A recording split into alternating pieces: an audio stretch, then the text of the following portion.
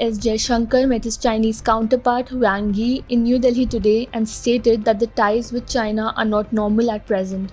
This was the first high level meeting after the border clash between the two countries in Galwan in June 2020. The India China military standoff in eastern Ladakh and the geopolitical situation arising out of Russia's invasion of Ukraine were figured out during the talks.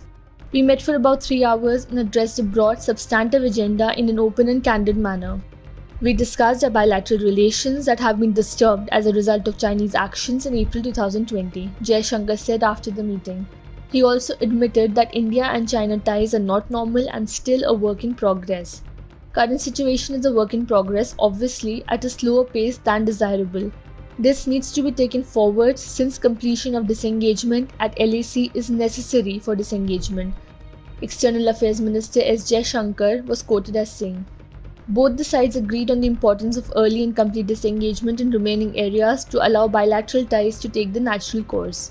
Ahead of his talks with Jaishankar, Wang also met National Security Advisor Ajit Doval.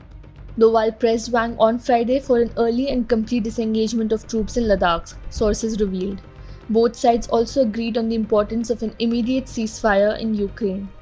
The Indian side is unlikely to shift focus from the eastern Ladakh row, it is expected to press for complete disengagement of troops from all friction points in the region for resumption of normal bilateral ties.